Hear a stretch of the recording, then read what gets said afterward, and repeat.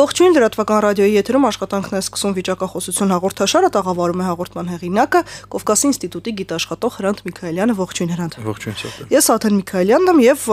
խոսել ենք շատ ակտուալ թեմայի մասին այն է Վրաստանը այնտեղ տեղի ունեցող իրադարձությունները իհարկե վիճակագրական մասով գիտենք որ խնդիրներ կան ռուս վրացական ու ըստ այդմ Ռուսաստանը նախորդ փորձը կրկնելով կարծես թե նախարկելեց ռուսական ինքնաթիռների թռիչքը Վրաստան եւ ըստ այդմ մեր հարևան երկրում կարծես թե այսպես կանխատեսվում էր զբոսաշրջության ոլորտում շատ մեծ անկում նույնիսկ ես այսպես ծայրահեղ որակումներ էի լսել ասում էին որ Թուրքիայի փորձը կկրկնի, հա, ինչպես Թուրքիայում սոցիալշրջության ոլորտը կարծես թե վերջին տարիներին շատ-շատ մեծ անկում գրանցեց ու նույն Ռուսաստանից, եվրոպական երկրներից հիմա արդեն շատ քիչ զբոսաշրջիկներ կան, ասում էին, որ հիմա նույն փորձը կարող է կրկնել Վրաստանը։ Որքանով է դա այդպես, որքանով այ այս ռուս-վրացական հարաբերությունների սրացումը այդ ոլորտը Վրաստանի կքայքայի եւ հետո իհարկե չենք կարող խոսել տարածաշրջանի մեր հարևան երկրի մասին ու չանդրադառնալ նաեւ Հայաստանի վրա ազդեցության այս քաղաքական գործընթացների խնդրեմ հրանտ անշուշտ կազդի վրացական տուրիստական ոլորտի վրա ակնկալիքներից ինչ ասեմ այս պահին արդեն ունեցած տրենդները կարող ենք պրոյեկտել ամբողջ տարվա վրա եւ քանի որ անցած տարի 1 408 հազար զբոսաշրջիկ է եկել Վրաստան, Ռուսաստանից, հա, ընդհանուր առմամբ Ռուսաստանից դեպի Վրաստան մուտք է գործել 1.705.000 Ռուսաստանի քաղաքացի, նրանցից զգալի մասը ուղակի տրանզիտի համար, իսկ այն մարդիկ, ովքեր գոնե մի գիշեր մնացել են Վրաստանում, դա այն 1.408.000 մարդ է։ Եվ Առաջին 5 ամսվա ընթացքում այս տարվա այդ աճը կազմել է 31.4%, այսписով մինչև տարվա վերջ պետք է գային, եթե այդ աճը շարունակվեր, իսկ կարմիտում որ նույնիսկ այդ աճն աճն էլ մեծանար, մի խոսքով մինչև տարվա վերջ 31.4%-ի պայմաններում կգային 1.846.000 զբոսաշրջիկ Ռուսաստանից։ Սա շատ մեծ թիվ է, ոչ միայն Վրաստանից, այլ նույնիսկ ավելի մեծ երկրներում դա կզգացվեր, իհարկե, եւ հիմա պետք է հասկանանք, թե ինչքանով դա Վրաստանին կվնասի։ Կկրկնի արդյոք Վրաստանը Թուրքիայի փորձը։ Թուրքիայի փորձը Վրաստանը չի կրկնի մի քանի պատճառով։ Նախ սկզբից Թուրքիայի մասով ասեմ, որ Թուրքիան իհարկե վնասներ կրեց, բայց մի քանի բան փոխեցին։ Նախ իրանք ուղություններ փոխեցին ու հիմա աշխատում են հիմնականում ասիական եւ իսլամական երկրներից զբոսաշրջության վրա եւ մեծ մասամբ կոմպենսացրել են Եվրոպայից եւ Ռուսաստանից պակասը զբոսաշրջիկների։ Երկրորդը, քանի որ Ռուսաստանից 90%-ով նվազել է եկող զբոսաշրջիկների թիվը, դա ամեն դեպքում շատ երկար չի տևել։ Հիմա արդեն այդ թիվը մոտավորապես 3-4-ով վերականգնվել է, որովհետև արդեն այդ արկելքներ չկան եւ այլն, հա։ Հիմա ինչ վերաբերում է Վրաստանին։ Վրաստանի դեպքում ավիափոխադրումներ Վրաստանի ու Ռուսաստանի միջև չեն լինելու, բայց ավտոճանապարհը մնում է եւ աշխատում է։ Եվ այդ ավտոճանապարհով Վրաստանից դեպի Ռուսաստան տարբեր տարիներով եկել է միջինում 50% զբոսաշրջիկների։ Ա Այս իրավիճակը սկսել է կտրուկ փոխվել վերջի մի քանի տարվա ընթացքում, ավելի ճիշտ վերջի 3 տարվա ընթացքում 2017-ից սկսած փոփոխություններ եղան,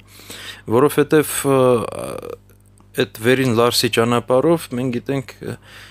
այդքան էլ մեծ քանակությամբ մեքենաներ եւ մարդիկ չեն կարող անցնել, որովհետև այդտեղ այդ ճանապարհի լայնությունը եւ սահմանակետերի աշխատանքի արագությունը չի թույլ տալիս, որpիսի ավելի շատ մարդ եւ ավելի շատ մեքենա անցնի։ Անցած տարի, եթե հիշում եք, դեպք ա եղել, երբ Վրաստանը արգելափակել է Վրաստանի տարածքով ցամաքային ավտոճանապարհներով ծորեն ներմուծել դեպի Հայաստան։ Հա Այս արգելքը ժամանակավոր հանեցին, բայց նրա դրա նպատակը այն էր, որ արագացնեին այդ ճանապարհով անցնելու պրոցեդուրան, հատկապես մարդատարների համար։ Այո, մարդատարների համար, որովհետև Վրաստանը ուզում է զբոսաշրջիկներ ավելի շատ գան։ Իսկ անցած տարվա հուլիսին եղել են պահեր, երբ խցոնում ա եղել այդ ճանապարհին ու մինչև 7 կիլոմետր հասել է։ Եվ դա արդեն վերջի տարիներին նորմա է դառնում։ Այսպիսով այս ճանապարհը նրա պոտենցիալը ամբողջությամբ սպառել է, կարելի ասել, կամ ոչ ամբողջությամբ, բայց շատ մոտ է դրան եւ ավելի շատ մարդ այլևս չի կարող անցնել։ Եվ այս պատճառով հենց համարյա բոլոր նոր զբոսաշրջիկներ ովքեր գալիս են դեպի Վրաստան Ռուսաստանից համարյա բոլորը գալիս են օտանավերով։ Այսպիսով այս տարվա ընթացքում արդեն 2019 թվականին հավանաբար, որովհետև ստույգ տվյալներ անցած տարվա ապրիլից հետո մենք չունենք, բայց հավանաբար 67%-ը զբոսաշրջիկների եկել է մեքենայով։ Ինքնաթիռով։ Եկել է ինքնաթիռով։ Այսպիսով ուրեմն մոտավորապես 1 միլիոն 100 քանի հազար մարդ կգար մինչև տարվա վերջ ինքնաթիռով։ Եվ դրանցից արդեն մի մասը արդեն եկել են, հա, որովհետև կես տարին անցել է։ Չնայած հիմնական տուրիստների ներհոսքը սկսում է երկրորդ կեսին տարվա։ Իմ հաշվարկով ռուսական զբոսաշրջիկների ներհոսքը դեպի Վրաստան տարվա առաջին կեսում կազմում է 29%, տարվա երկրորդ կեսին կազմում է 71%, իսկ եթե հաշվենք նաև այս առաջին շաբաթը հուլիսի, որին դերը չվերտերը լինել են, ուրեմն եւս 3%, այսписով 32%-ը կգամ։ Ա ավիափոխադրումներով վրացական զբոսաշրջիկներ մինչև արկելքը եւ 68-ը պետք է գան այդ արկելքից հետո։ Իհարկե արդեն այդ տիվը կնվազի, որովհետեւ նրա այդ արկելքով մուտքը նվազում է այսписով այն մարդիկ չեն կարող տեխնիկապես գալ եւ պետք է այդ հոսքը կոմպենսացվի։ Ինչպես այն կարող է կոմպենսացվի։ Կա մի քանի տարբերակ։ Ա եւս ցամաքային ճանապարհով սա բավականին բարդ է, որովհետև մենք գիտենք, որ համարյա սպառել է վերին լարսնրա հնարավորությունները եւ եթե 2018 թվականին հավանաբար 714 ռուս զբոսաշրջիկ անցել այս ճանապարհով, չէ, ոչ թե զբոսաշրջիկ, այլ ռուս քաղաքացին։ Հա, հա ապա 2019 թվականին այդ թիվը կկազմի մոտավորապես 750 հազար մարդ, հավանաբար եւ թեկուս էլի աճի, բայց 800-ից հաստատ չի կարող անցնել, հա, այսինքն սա մեկ եւ նրանցից գալի մասը, ну ինչ որ մասը արդեն անցել է։ Երկրորդը ինչքանով կարող են կոմպենսացնել այդ հոսքը Երևանի օթանավակայանը կամ Բաքվի օթանավակայանը կամ Մինսկի եւ այլն։ Նաեւ հա։ Գյումրին էին առաջարկում։ Նաեւ Գյումրին ինչքանով կարող է դա կոմպենսացնի։ Այստեղ մենք դեռ չգիտենք, մենք կարող ենք ուղակի փորձել գնահատել։ Ես փորձեցի գնահատել իմ գնահատականով դա կկազմի մոտավորապես 35-ից մինչև 50% այդ զբոսաշրջիկների թիվը, որը կկոմպենսացվի այդ ճանապարհով, որովհետև կան մեծ փորձեր, որպիսի այդ շրջանառությունը կոմպենսացվի բելարուսական ավիաուղիներ արդեն հայտարել են, որ նրանք չվերթների քանակը կմեծացնեն դեպի Մոսկվա եւ դեպի Թիֆլիս։ Մեզ մոտ 3 ավիաընկերություն կարծեմ։ Մեր մոտ 3 ավիաընկերություն, որից հիմնականը իրականում վրացական ավիաուղիներ, այսինքն նույն Արմենիան կոչվածը, կկազմակերպի ամեն օր միջվերթ, հետո եւս այլ ընկերությունները Ռոստով Նադանոյի էլի մի ավիա ընկերությունը կմեծացնի քանակը եւ այլն եւ այլն ու նաեւ Բաքվում իսկ վրացական կառավարությունը ուզում է Երևանի օթանավակայանից ավտոբուսներ կազմակերպի դեպի Թիֆլիս անվճար։ Ահա։ Եվ նաև դրանով կոմպենսացնի։ Այսպիսով հնարավորություններ կան։ Իհարկե դա անհարմարություն է ստեղծում զբոսաշրջիկների համար, որովհետև պլյուս այն օրերին, որը իրանք անցկացնում են Վրաստանում, եւս մի օր պետք է ծախսեն ճանապարհի վրա ավելորդ մի օր։ Բացի դրանից, գումարային ծախս կարող է աճել։ Նույնիսկ չհաշված, որ անվճար հասցնելու են Երևանից Թիֆլիս մեկը այդ չվերթները կարող են ավելի թանկ լինել, հա։ Եվ հետո այնտեղ ակցիաները բարձրացել։ Հակառուսական են, այսինքն որքանով այսպես ռուս զբոսաշրջիկի տեսանկյունից եմ ասում, ինչքանով հարմարավետ կլինի գնալ այդ երկիր։ Հասկանալու համար թե ինչքանով կվնասվի այդ ոլորտը Վրաստանի, ռուս զբոսաշրջիկների ինչ տոկոսն են կազմում Վրաստանի զբոսաշրջության ոլորտում, այսինքն արդյոք այդ առաջատարը հենց Ռուսաստանից են զբոսաշրջիկները։ Այո։ Ուրեմն Ռուսաստանի զբոսաշրջիկները Վրաստանի ներհոսքում տուրիստական նրանց թիվը ամեն տարի շատ արագ աճում էր, հա, այս տարի 31.4%-ով ինչպես ասացի աճեց, սա շատ մեծ թիվ է, շատ մեծ թիվ է, իսկ մինչև այդ ամեն տարի մի քանի տասնյակ տոկոսով աճել է եւ հիմա արդեն 2019 թվականին Ռուսաստանից ներհոսքը զբոսաշրջիկների ամենամեծը եւ ամբողջ ներհոսքի մոտավորապես 24% է կազմում։ Անցած տարվա տվյալներով Վրաստանը ստացել է այդ զբոսաշրջիկներից 793 միլիոն դոլար։ Այս պարագայում այս տարի կստանա 1 միլիարդի չափ, ավելի ճիշտ պետք է ստանա։ Եվ հակառուսականության տեսանկյունից դե դրա մասին վեճեր կան, օրինակ նախ Ռուսաստանում կա ընդդիմություն, որը համարում է, որ եթե Պուտինը արգելել է դեպի Վրաստան գնալ, ուրեմն իրանք հենց այդտեղ պետք է գնան։ Ինչ վերաբերում է հակառուսական ակցիաներին, ամեն դեպքում այդտեղ Ռուսաստանի պետության դեմ ավելի շատ քան ռուսների ազգությամբ ռուսների դեմ։ հա։ Հա, ու այն զանգվածը, որը այդ խնդրին մեծ ուշադրություն չի դարձնում, կամ ուղակի գնին է նայում, կամ ընդդիմություն է, բավական է որովհետև Ռուսաստանը շատ մեծ է, բավական է, որ Վրաստանը այս իմաստով, քաղաքական իմաստով շատ մեծ վնաս չկրի։ հա։ Չնայած որ այնուամենայնիվ բազմաթիվ կլինեն ռուսներ, ովքեր կգերադասեն արդեն Վրաստան չգնալ, որովհետև դե եթե վատ հարաբերությունների մեջ են, եթե քեզ ուրախ չեն ենթադրենք տեսնել, ինչ իմաստ ունի գնալ, հա։ Այսպիսով Ես փորձեցի գնահատել մի քանի հանգամանքից ելնելով ինչքան վնաս, գումարային վնաս Վրաստանը կկրի այդ արկելքից հետո։ Եվ ստացվեց այնպես, որ եթե 35%-ը այդ հոսքի կոմպենսացվի, այսինքն 65%-ը ովքեր պետք է գան մինչև տարվա վերջ ավիաուղիներով չեն գա, դա նշանակում է, որ Վրաստանը կկորցնի 294 միլիոն դոլար։ Իսկ եթե 50%-ը կոմպենսացվի, ապա 226 միլիոն դոլար, հա։ Ես գնահատում եմ այս շրջանակում այդ կորուստները չնայած կան էլի-էլի բազմաթիվ դրույթներ, որ ես դրեցի իմ հաշվարկում, բայց նաև բերեմ ուրիշ որպես համեմատություն ուրիշների հաշվարկներ, Վրաստանում բազմաթիվ մարդիկ էլի փորձել են գնահատել, հիմնականում, այսպես ասեմ, հա, այն մարդիկ, ովքեր սատարել են այն ակցիաներին, որոնք քաղաքական ակցիաներին, հա, այսպես ասեմ, ցույցերին, որոնք տեղի ունեցել եւ իհարկե նրանք ավելի գնահատում են ավելի քիչ այդ վնասը միջինում 100-ից մինչև 150 միլիոն դոլար, այդպիսի գնահատականներ 4-5 տարբեր հեղինակներից եմ կարդացե։ Ահա։ Ու համարյա կեսով չափ։ Վիտալի Շկլյարով եւ Թամաս Խունջոը օրինակ միգնահատական, միգնահատական Վրաստանում Transparency ֆիլիալը եւս մի քանի գնահատական ու նաև Կոմսոմոլսկայա Պրավդայի գնահատականը 130 միլիոն դոլարը,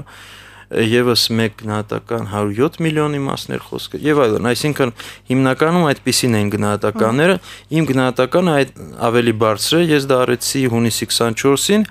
եւ պետք է ասեմ որ հունիսի 27-ին մի քանի իմ ընկերներից մի քանիսը ինձ ուղարկում են որ Պարզվեց, որ վրացական կենտրոնական բանկը գնահատեց վնասները 200-ից մինչև 300 միլիոն դոլար Եվ դա միայն իմ գնահատականի հետ, այսպես ասած, խաղում է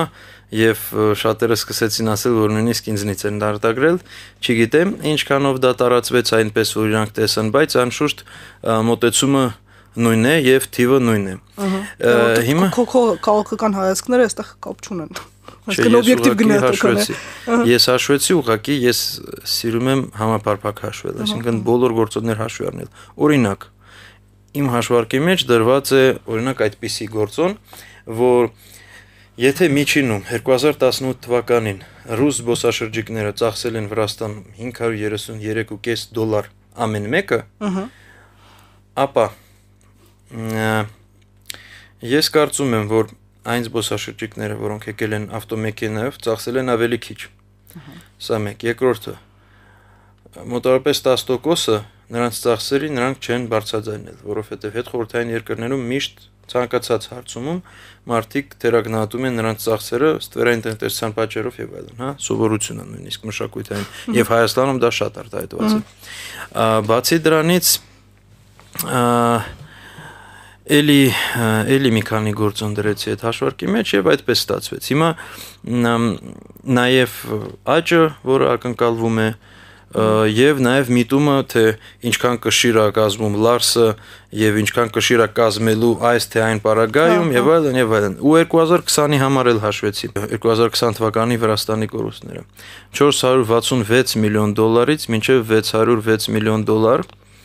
որտեղ իհարկե նվազագույն, եթե ամբողջությամբ հոսքը կոմպենսացվի 0, իսկ առավելագույն 931 միլիոն դոլար, այսписով այս շրջանակում, բայց հիմնականում կարելի ասել 500 միլիոն դոլարի չափ վնաս կկրի Վրաստանը 2020 թվականին, եթե այդ արկելքը մնա, հա։ որովհետև կա հավանականություն, որ հանվի օրակարգից։ Շատ լավ, եւ խոսենք նաեւ Հայաստանի մասին։ Իհարկե, այսպես շատ տարբեր էին փորձագետների կարծիքները, ես որքան որ հետևեցի, ասում էին, որ այդ հոսքի Ռուսաստանից զբոսաշրջիկների հոսքի մի մասը կգա Հայաստան, բայց այստեղ մի հարց Վրաստան հիմնականում գնում են թերևս ծովի համար նաև, չէ՞, այսինքն ընտրությունը եթե գաս այս տարածաշրջան ու գնաս Վրաստան, պետք է որ այդպես լինի։ Արդյոք Հայաստանը կարող է կոմպենսացնել զբոսաշրջիկի ակնկալիքները ու ասենք Վրաստան նախատեսած զբոսաշրջիկը գա Հայաստան։ Ինչ մասշտաբի կարող է հասնել այդ հոսքը այստեղ շատ པարզ գնահատականով մոտավորապես մինչև 150 հազար զբոսաշրջիկի ներհոսքի աճ կարող ենք ունենալ տեսականորեն։ Իհարկե մենք դեռ չգիտենք թե ինչքան կլինի իրականում, որովհետև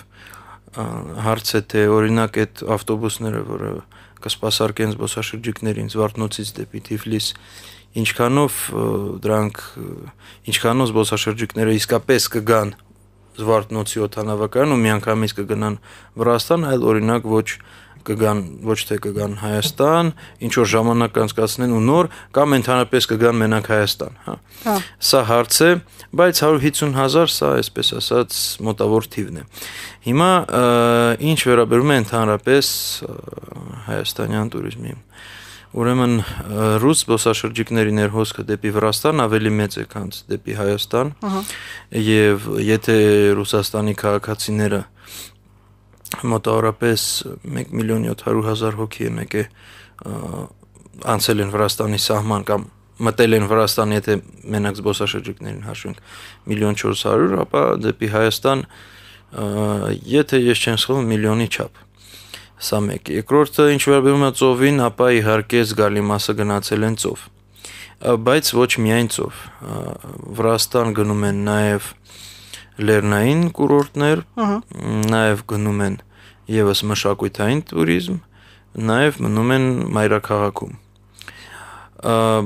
Բայց Հայաստանի համար ստեղ եւս կան խնդիրներ։ Իրականում, քանի որ Վրաստանում ներդրվել է туриզմի մեջ, туриզմի զարգացման մեջ, մեջ շատ մեծ գումար, այդ թվում ոչ վրացական գումար, այսպես ասեմ, հա, արտասահմանյան օգնություն ավելի པարզ եթե ասեմ, ապա կհասկանանք པարզ, որ Հայաստանում այդքան ենթակառուցվածք չկա։ Նախ սկսենք հյուրանոցներից։ Հայաստանի հյուրանոցները չեն կարող ապահովել շատ մեծ քանակությամբ ներհոսքը միանգամից, որովհետև սեզոնին նրանք լցված են ամեն դեպքում մոտավորապես 80 80-ից մինչև 90% զբաղվածություն կա սեզոնում։ Եվ այս параգայում շատ դժվար է ակնկալել, որ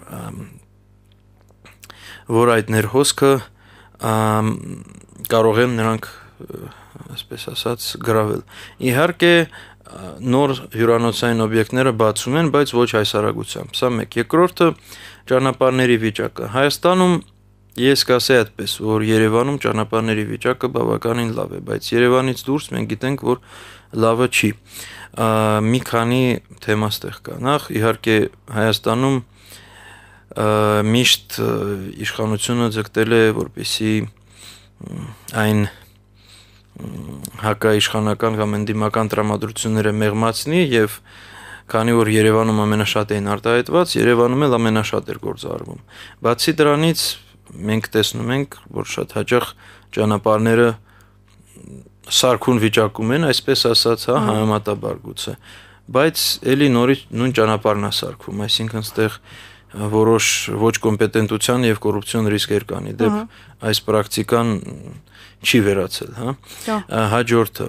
մենք տեսնում ենք, որ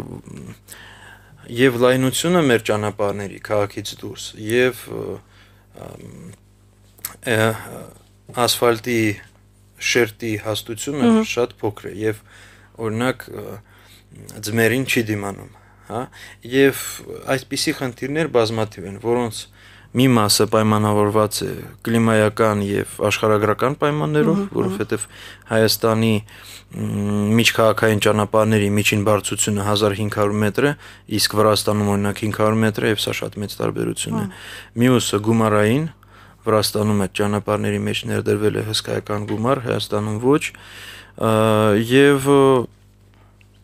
վերջում մենք տեսնում ենք, որ այս խնդիրները կան ենթակառուցվածքների տեսանկյունից, եւ ճանապարհների տեսանկյունից, եւ հյուրանոցների տեսանկյունից, եւ հիմա մշակութային օբյեկտների մասին խոսենք։ Հայաստանում մշակութային օբյեկտների պահպանությունը շատ վատ վիճակում է, վերականգնումը համարյա չի գնում։ Մենք ունենք կարող ենք ասել հրաշքներ։ Մենք ունենք Դվին քաղաք։ Մենք խոսում ենք Անի քաղաքից, որը իսկապես լավ կլներ, եթե հասանելիություն ունենանք բայց մենք ունենք Դվին քաղաք Հայաստանի Հանրապետության տարածքում։ Նրան մասնակի վերականգնումը կամ գոնե կոնսերվացիան պահանջում է հսկայական գումար։ Արտաշատ քաղաք, մայրաքաղաք, որը որի ավիրակները կրկին ավիրվել են 1970-ականներից հետո, երբ եղել են ես այդտեղ բազմաթիվ անգամներ եղել եմ եւ կարող եմ ասել նույնիսկ որ այն պատերի բարձությունը, որը մնացել է, այս պահի դրությամբ նվազել է երկու անգամ։ Երբ որ պեղել են եղել ամ մոտորապես 2 մետր, իսկ հիմա 1 մետրի չափ կամ ավելի քիչ։ Սա ուղղակի որպես փաստ։ Եվ մենք ունենք բազմաթիվ այլ մշակութային հուշարձաններ, որոնք քիչավոր հասանելի չեն, քիչավոր ուսումնասիրված չեն, քիչավոր հարգված չեն։ Մենք տեսանք այս տարի ինչ որ վանդալիզմ ա եղել օրինակ անցած տարի բանի զորած կարերի հուշարձանի վրա ինչ-որ բան են նկարել եւ այլն ոչ մի արձագանք ոչ։ Այսինքն այս իմաստով մենք նաեւ մշակութային ենթակառուցվածք ունենք, հա։ Օրինակ հիշեցնեմ մի փաստ, մոտավորապես 10 տարի առաջ երևի նորավանք համալիրը ուզում էին մտցնեին ՅՈՒՆԵՍԿՕ-ի ցուցակ փորձագետները եկել են, տեսան, որ այդտեղ մշակութային հուշարձանի տարածքում բացվել է կաֆեն եւ գնացել են, հա, օրինակ, հա, սա կան ինչ որ ռեգուլյացիաներ, օրենքներ եւ այլն, ինչը պետք է պետք է պահպանել։ Որևէ մեկը դրա մասին մտածել է, վստահաբար ասում են, որ ոչ։ Մենք ունենք օրինակ Շենգավիթ Երևանի տարածքում։ Երբ որ ասում ենք, որ Երևանը 2800 տարեկան է, ստեղ մի քանի բան կա, հա։ Այսօրվա Երևանը ինքը շատ հին չի մի կողմից։ Մյուս կողմից Երևան անունով բնակավայրը 2800 700 տարեկան է, բայց Երևանի տարածքում ընդ որում բուն Երևանի տարածքում, հա, բնակավայրը եղել է նաև 5-6000 տարի առաջ, սա Շենգավիտն է եւ ոչ միայն Շենգավիտն է։ Ով է դրան նայում, հա, այդտեղ շատ բարդ վիճակ է։ Ես ուղակի խնդիրները թվարկեցի, բայց туриզմից խոսալուց մենք պետք է դրա մասին լավ մտածենք եւ այդպիսի խնդիր էլ կա։ Այսպիսով մենք ենթակառուցվածքներ ունենք եւ չպետք է ակնկալենք, որ մեծ ներհոսք կունենանք ինչ որ մի աճը կլինի, բայց շատ մեծ չէ։ Վրաստանը այդ խնդիրները շատ մեծ հաշվով լուծել է։ Օրինակ, Սիղնաղ քաղաքը, վերականգնվել է ամբողջությամբ, նույնիսկ ավելին ասեմ, որոշ չափով ուղակի նոր քաղաք է կառուցվել, Մցխեթան եւ մի քանի այլ տարածքներ, Բերթը Ախալցիխեյում Չնայած այդ բերդը հին բերդին համարյա նման չի արդեն, լրիվ ուրիշ բերդ է, բայց զբոսաշրջության տեսանկյունից շատ լավ օբյեկտ է, այդտեղ կարելի է գնալ ու շատ երկար ժամանակ անցկացնել։ Ա մեր մոտ եւս ասեմ, հա, եթե մենք ինչ որ պոտենցիալ ունենք 1970-ականներին պայմանական, ապա հիմա այդ մշակութային պոտենցիալը նվազել է, որովհետև հուշարձանները քանդվում են։ Եվ այսписով շատ դժվար է ակնկալել Էլ չասած, որ այլ ենթակառուցվածքները արդեն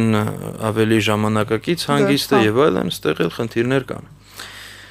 Շատ ծանր ու ցավալի թեմա, բայց այդուհանդերձ այս 150 հազար զբոսաշրջիկի հավելյալ զբոսաշրջիկի այցը Հայաստան, հա։ Որքանով ֆինանսապես կշահի Հայաստանը այս 100 հազար զբոսաշրջիկի արկայության պարագային որոնք Վրաստանից էին գալու, Վրաստանի փոխարեն էին Հայաստան գալու։ Եթե իսկապես այդ թիվը կգա եւ եթե ամեն մեկը կծախսի մոտավորապես 500 դոլար, ապա 75 միլիոն դոլար կծախսեն Հայաստանում, որը Հայաստանին հաստատ չի խանգարի։ Հա, եւ առավել եւս, որ տուրիստական ոլորտը ինքը ավելի բազմաշերտ է, ավելի շատ մարդ է ներգրաված, քան մի քանի այլ ոլորտը, օրինակ, չգիտեմ, հանքարդյունաբերությունը։ Եվ բացի այդ ինքը հետո կարող է իրականում տուրիստների ներհոսքը, եթե լավ կազմակերպված է, կարող է հետո ավելի երկարատև հետևանքներ ունենալ։ Օրինակ, ներդրումների տեսանկյունից, օրինակ, շինարարության մեջ ներդրումների կամ բնակարանների գնման տեսանկյունից, օրինակ, ինչ որ հետաքրքիր նույն մշակութային պրոյեկտների տեսանկյունից, օրինակ, օրինակ հայկական գինիների ճանաչելիության տեսանկյունից եւ այլն, այսինքն զբոսաշրջիկի գալը դա զուտ ֆիզիկական գալ գնալը չի, դա ուղղակի մարդու գալը ու արդեն նոր կապ է ստեղծում եւ սա արդեն զանգվածային ինչ որ էֆեկտ կարող է ունենալ տեսանք տեսականորեն եւ այդ պարագայում սա կարող է շատ կարեւոր լինել բայց մի ուրիշ խնդիր էլ կա մի մասը զբոսաշրջիկների ովքեր գալիս են Թբիլիսի օթանավակայանով դեպի Վրաստան Նրանք գալիս էին Վրաստան, հետո գնում էին Հայաստան, հետո հետ վերադառնում էին ու թռնում էին Վրաստան, որովհետև այդտեղից ավելի էժան է, դա գիտեք։ Մեր հա։ հայրենակիցներն են ցանկացած տեղ գնալուց Վրաստանով գնում, ինչ մասն Ոչ բոլորը, բայց այո, նայած նայած ուղություն նաև, այո, նայած ուղություն, բայց ուղությունների զգալի մասով Վրաստանից ավելի էժան է եւ նաև ռուս զբոսաշրջիկներ էին այդպես գալիս։ Հիմա, եթե Թիֆլիսի օտանավակայանը այս տեսանկյունից փակվում է, տեսականորեն կարող է նույնիսկ հակառակ էֆեկտ ունենալ, հա? Կարող է նույնիսկ հայկական տուրիզմը վնասներ կրի, որովհետև այն զբոսաշրջիկը, որը կգար եւ Հայաստան եւ Վրաստան, հիմա չի գա։ Օրինակ։ Հա, հա։ Ստեղ շատ է կախված գնային տարբերությունից, օրինակ Բաքվով կգան այդ մարդիկ, թե Երևանով։ Կա այդպիսի տարբերություն, չնայած Երևանը Թիֆլիսին ավելի մոտիկ է, քան Բաքուն, ստեղ որոշ առավելություն կա, բայց այնուամենայնիվ կան խնդիրներ եւ գներից շատ բան է կախված, որովհետեւ ես կարծում եմ, որ ռուս զբոսաշրջիկների մեծ մասը ոչ թե այն տրամաբանությամբ կշարժի, որ քանի որ Պուտին արկելել է մենք պետք է գնանք, ոչ թե այն տրամաբանությամբ, որ քանի որ վրացիները հակառուսական ցույցեր են կազմակերպում, մենք չենք գնա, այլ որտեղ էժան է, այնտեղ էլ գնանք եւ այս տեսանկյունից, եթե Վրաստանի զբոսաշրջությունը աճի կաճի գներով գնային տեսանկյունից։ Եթե Հայաստանի Հայաստան դեպի զբոսաշրջությունը կաճի գնային տեսանկյունից, ապա այդ ներհոսքը կարող ենք կորցնել եւ այդ նշաններ ունենք, որովհետեւ Aeroflot-ը արդեն բարձրացրել է գները դեպի Երևան չվերթներում եւ և քանի որ ակնկալում են, որ ավելի մեծ մրցակցություն կլինի, ավելի շատ մարդ կուզի գնել եւ այլն, դե սպեկուլյացիայով են զբաղված եւ բարձրացել են գները։ Այսպիսով սա որպես հարց ենք դնում դեր, որովհետեւ դեր ժամանակ է պետք եւ վերջում ասեմ, որ արդեն այդ ռիսկերը Վրաստանի համար արդեն երևում են, որովհետեւ վրացական արժույթը լարին կորցրել է իր արժեքի մոտավորապես 3%-ը 1 դոլարի դիմաց եղել է գինը 2.73-ից մինչև 2.78, իսկ հիմա 2.87-ն է ու արդեն որոշ չափով պանիկա է Վրաստանում, մարդիկ ակնկալում են, որ շատ կարող է վատ անդրադառնա, իսկ նույն կենտրոնական բանկը Վրաստանի արդեն հայտարել է, որ չի մեղմացնելու հետևանքներ այդ ինդուստրիայի համար ու ընդհանրապես լարի փոխարժեքը չի կառավարելու, որը ես գտնում եմ, որ սխալ է, այսինքն ռազմավարական տեսանկյունից ճիշտ է, բայց մարտավարական տեսանկյունից սխալ, այսինքն կարճաժամկետ ճիշտ կլներ պանիկայի խուսափելու համար կուրսը կառավարել եւ ինտերվենցիաներ կատարել, որպիսի լարի փոխարժեքը շատ չտատանվի, բայց ամեն դեպքում դեր այդ էֆեկտը չկա, դեր այդ պանիկայի արդյունքա, որովհետեւ չվերթներ դեր շարունակում։ Շնորհակալություն Հրանտ։ Մեզ հատկացված է հրաժամանակը սպառվեց, այսքաններ հարգելի ռադիո լսողներ ու ռադիոդիտողներ վիճակախոսություն հաղորդաշարի այս թողարկմանը տաղավարում էր հաղորդման հեղինակը Կովկասի ինստիտուտի գիտաշխատող Հրանտ Միքայելյանը։ Շնորհակալություն։ Ես Աթեն Միքայելյանը կհանդիպենք։